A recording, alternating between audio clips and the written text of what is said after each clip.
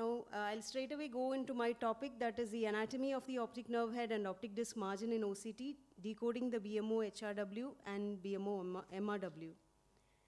I have no financial interest to disclose. Understanding the uh, anatomy of the OCT is important because to understand the GMP program in Spectralis, we need to uh, decode what exactly it is. Now let's see the role of OCT in glaucoma. So once light falls on the retina, it comes uh, to the rods and cones through the bipolar cells into the ganglion cells, and the unmyelinated axons are segregated together, and this is what forms a neuroretinal rim, which is uh, beautifully seen in the spectral domain OCT. So here we have the neuroretinal rim, retinal nerve fiber layer, and the ganglion cell layer. We have to take all these three together to understand what uh, is going on in glaucoma. So now I'll be uh, dealing with the neuroretinal rim. Now to understand that, we need to know what is a clinical disc margin. The major indicator of the optic nerve head health is a neuroretinal rim. But to uh, quantify the neuroretinal rim, we need to see what the disc margin is and what the cup margin is. But is this a true disc margin that we uh, see? If you take this example, if you see the green, uh, green circle is a clinical disc margin. But in OCT, we have something called a Bruch's membrane opening, and if you see that it's totally different from the clinical margin in this particular example. The Bruch's membrane opening is um, marked with the help of OCT. So what is this Bruch's membrane? Bruch's membrane is nothing but it is just a part of the choroid. So, uh, and the Bruch's membrane opening is a termination of the Bruch's membrane. And this can be consistently detected in the SD OCT imaging. So, uh, also we have the internal limiting membrane, which is considered as the uh, margin of the neuroretinal rim.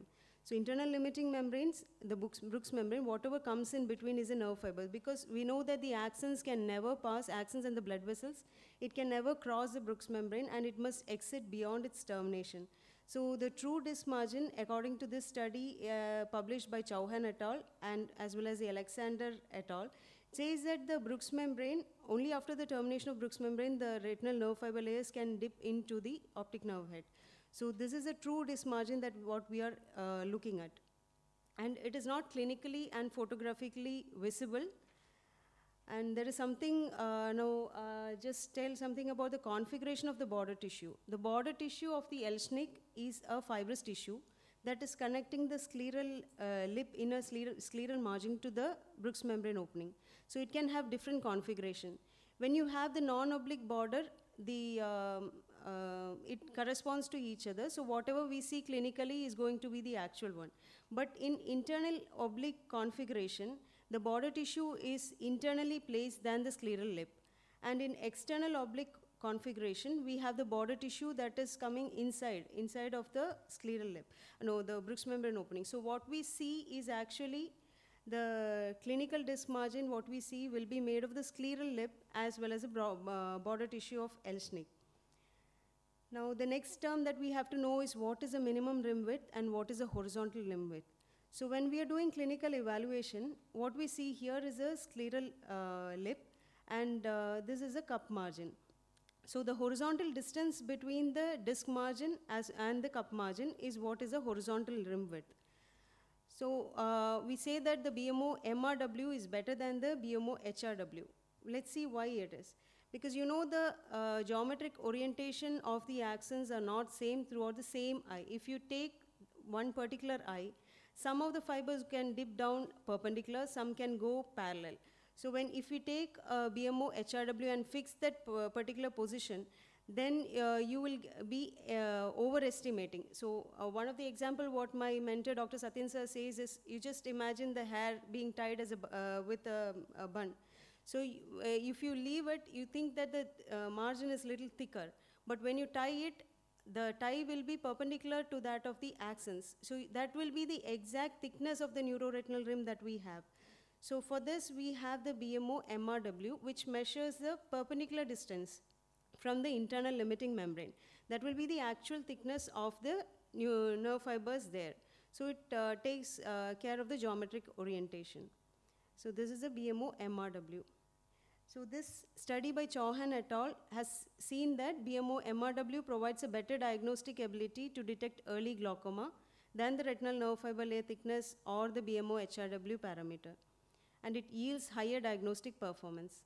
In Spectralis GMPE program, there is 24 line scans which detects 48 BMO points uh, all through and it is uh, given to us. So this is an animation which shows uh, the internal limiting membrane being marked, the BMO Bruch's membrane opening being marked, and it's just a 3D animation to show how exactly this uh, works. And the shortest distance from the BM Bruch's membrane opening to the internal limiting membrane is what we are interested in, that is BMO MRW. And uh, the last part, the Bruch's membrane in histology versus OCT. If you take the histology of the uh, retinal layers, you can see that the thickness of the Bruch's membrane is only 2 to 5 micrometer and the RP is about 14 micrometer, which is about three times thick, uh, thicker than the Bruch's membrane. But if you see the OCT picture, you can see that the RP and Bruch's membrane looks equally the same thickness or sometimes even Bruch's membrane is little more brighter than the RP thicker. So why this is is because of the principle of the OCT which actually uh, works on the reflectance from the boundaries. In the Bruch's membrane you have five layers which are all reflect, uh, reflectile and that's why the thickness looks, it looks more thicker. So uh, with this I wind up my topic. Um, so um, acknowledgements to my mentor Dr. Satyan sir and Prasanna Venkatesh Ramesh who has been helping me throughout the journey. And uh, Next, I call upon Dr. Sachin sir uh, to present on the pearls and pitfalls of the Bruch's membrane detection.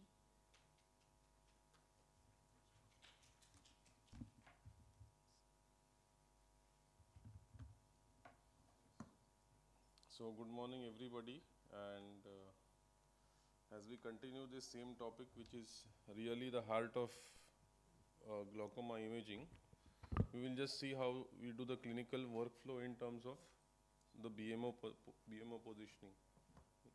Has it come? Yeah. Yes. So, so after knowing how to do it, we will see how practical it is. So uh, this was history. So this is out and this is in. Now this is very important that individualized marking of the scanning circle is out and automated scanning, automated marking is in and that this itself is the holy grail of imaging. So BMO is the holy grail of advanced glaucoma imaging is something that everybody should know and BMO is the Bruch's membrane opening as we have seen. So it's not clinically visible, it's BVR like the BVR missiles. You don't see it at all and the machine fires it for you. What it gives you is the repeatability and reproducibility because of which it has made progression assessment a real possibility. It is user independent and it is automated. So all these make it a reliable tool for test, uh, minimizing the test retest variability and this really differentiates the men from the boys in glaucoma imaging. So deviation in clinical disc margin and the BMO is very well known. Why manual is out and automated is in is this because in the manual you cannot see the Bruch's membrane opening because of which you cannot mark the clinical disc margin. So this uh, BMO is way out of the clinical margin. This is nearly similar and this is superimposed. This is impossible to detect by the human eye because of which it will also affect the scanning circle in the RNFL analysis. So posterior segment imaging in glaucoma consists of the ONH, the RNFL and the macula as rightly pointed out by Swati.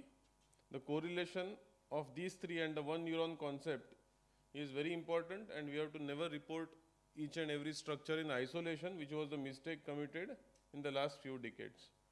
Masterly workflow makes the difference between use and abuse is something that we should know. So the study of OCT for glaucoma begins here with this image which is not available with mo most of the machines and which is not seen by most of the ophthalmology consultants.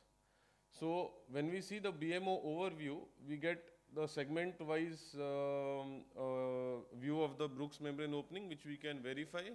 We verify the segmentation, verify the positioning, and see that everything is in order before we go to the next step. So go to this. Because it is not available in many devices, this image is not seen in any of the printouts which are described in common uh, lectures. Now why precision and checklists matter is very important because that because There are certain things which cannot be missed. One is the rim analysis. Once you've done the ch- checking with the point BMO points, you go to the rim. Then see for the local, uh, pro- see for the profile. If you see the profile and if you see local dips, you can go again to the same sector and recheck the placement of the Bruch's membrane opening. And then second thing is you go to the deviation of the Bruch's membrane opening. Now, if that is more than 100 microns, you know it is not comparable to the normative database because of which the color coding will go for a toss. So, these are very, very uh, fine things and precision matters when you uh, uh, use this for glaucoma image, serious glaucoma imaging. Now, you can see the effect of the BMO on NFL scan circle placement. Because you cannot see the center of the BMO, here you may be sometimes right in placing the scanning circle, but here there is no way you can place the scanning circle in the position which is required because you just can't identify the BMO. So this is very very important clinical correlate why BMO uh, centration and automation is very very important. Now BMO overview, the examination in all centers, all sectors uh, and localizing it and classifying it is due diligence without which you should not be proceeding with the uh, analysis of a particular image. So due diligence is mandatory, otherwise there is no difference between use and abuse.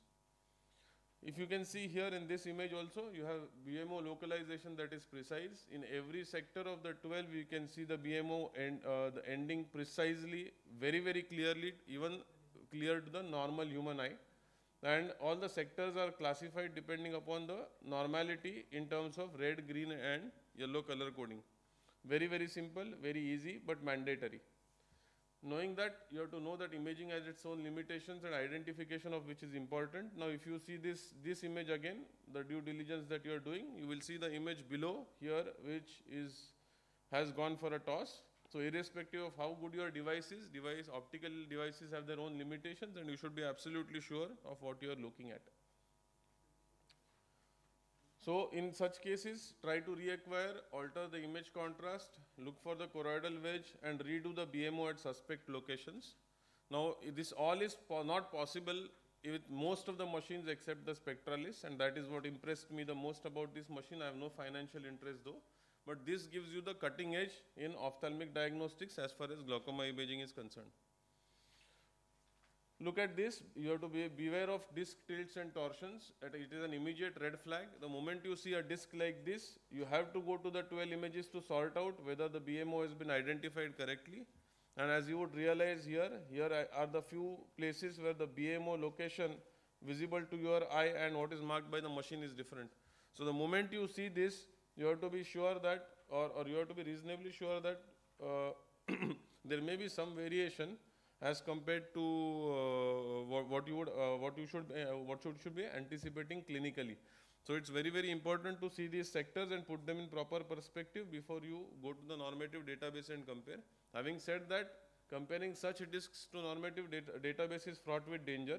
You can do it with the RNFL or the macula rather than doing it at the disk margin in such kind of cases. Again, in this case, you see the Bruch's membrane opening is lying somewhere else, the clinical uh, disk margin is lying somewhere else, and rightly here you can find out that there is no data that is being acquired, no marking that has taken place. So, why this is important is in some kind, some kind of optic nerve heads, irrespective of the number of times you do the examination, it is impossible to get the Bruch's membrane opening, and which is a limitation that you should absolutely understand. Clinical correlation is very important, and uh, this is another uh, example of the uh, uh, of such a case. Now here you can see all the sectors are green. So even though all the sectors are green, doesn't mean that everything is normal because this is just an image. This is not going to give you an answer. This is going to help you answer. So just remember that clinical correlation is the most important thing, which we shall uh, see in continuation in the next episode. That is my next talk of the next six minutes. Thank you for your patient hearing. No, we can continue later. Because I've kept that case as the last movie.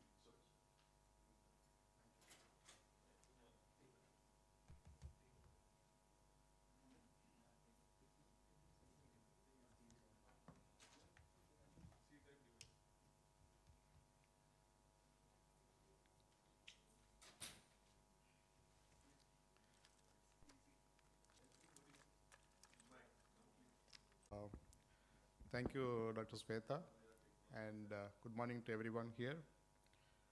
I'm going to discuss something about the Bruch's membrane opening, mainly the minimum rim width, step-by-step approach. Uh, Of course, we have this, uh, the Garway-Heath grid analysis, how we can do that, and also the Hood report. I am Dr. Satyan Parthasarathi from Coimbatore. So when you take the VOCT, we have uh, two areas of interest. One is the optic disc, and we have the, the ganglion cell layer. These are the two areas of our interest. I'm going to talk only about this, um, the neuroretinal rim, the minimum rim width. Of course, we all need to have a very systematic approach when we are looking at the VOCT. That is the rim, then you have to look at the RNFL, and then we have to look at the GCL map. So I'm just going to discuss only about this uh, uh, minimum rim width here.